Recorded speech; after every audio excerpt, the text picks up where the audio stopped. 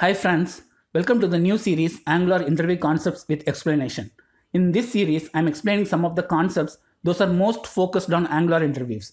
If you just prepare for an Angular interview like a question and answer format, it won't help you a lot. If the same question is asked differently, you may struggle.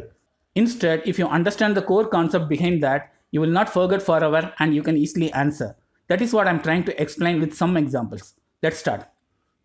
As part of Angular Hero to Superhero Advanced Concept series, I have explained how we can create and use observable and promise for handling asynchronous functionalities.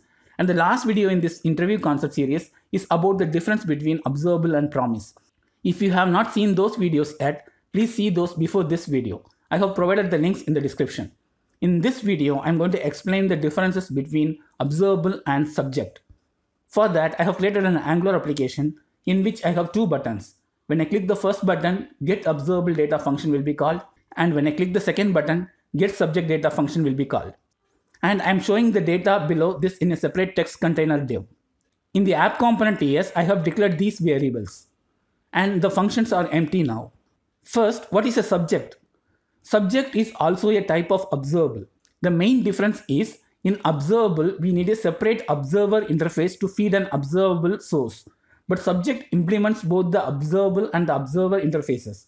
In other words, subjects can be both consumers and providers, but observables can't be consumers. Let me show that. Inside get observable data function, let me create an observable that emits a data. Here we can see we have a separate observer which emits the data.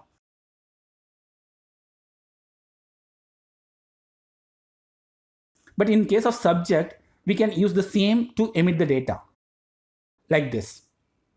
This is the first and main difference. If I click the buttons, it won't work because we need to subscribe first. Only then we will receive the data. But here also we have a difference. Let me subscribe to both first.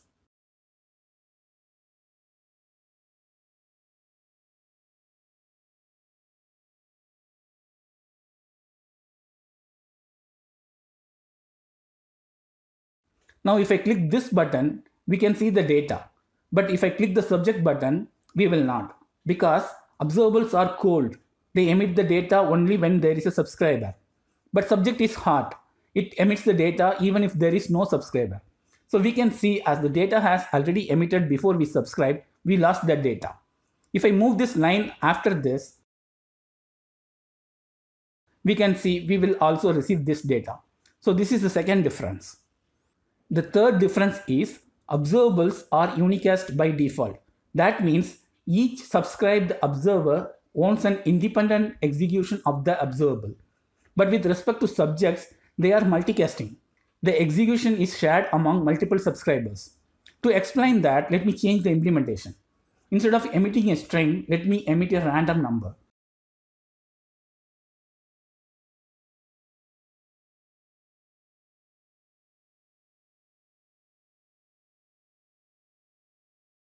And instead of one subscriber, let me have two now in both.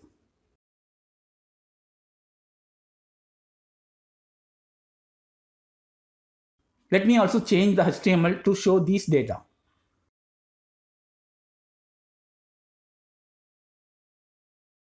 Now if I click the observable button, we can see we get two different numbers every time.